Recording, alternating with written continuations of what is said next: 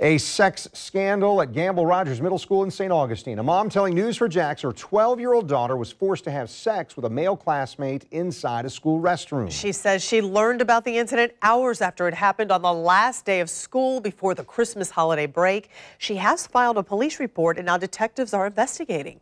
News4JAX reporter Erik Avanier has been following this story all day. And to protect the identity of the girl, we're not identifying her mom and we've altered her voice. Erik? Yes, the mom I spoke with is even more upset tonight after learning today that her daughter has now been, in fact, suspended from the school, along with one of the boys who took part in that act, uh, who she says admitted to everything that went down. Now the mom says she is on the verge of pulling her child out of that school. While St. Johns County school officials are not commenting about what allegedly happened inside a boys' bathroom here at Gamble Rogers Middle School, the mother of a 12 year old girl is not holding back. It'll make you very angry. It'll make you cry in your eyes out. I mean, like, I mean, who, who, who would ever dream that that would happen to the kids?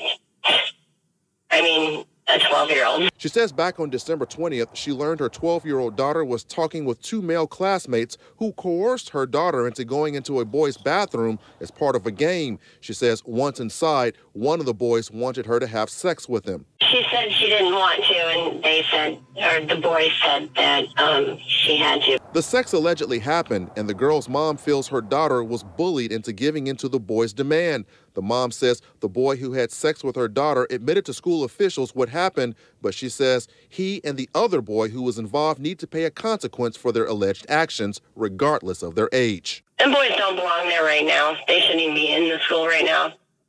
They should be hold out. As far as I'm concerned, they should be suspended or um, just not allowed back right at this time.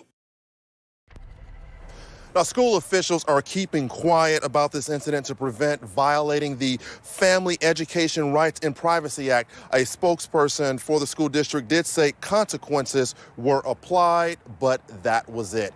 Reporting live, Erik Avanier, Channel 4, the local station.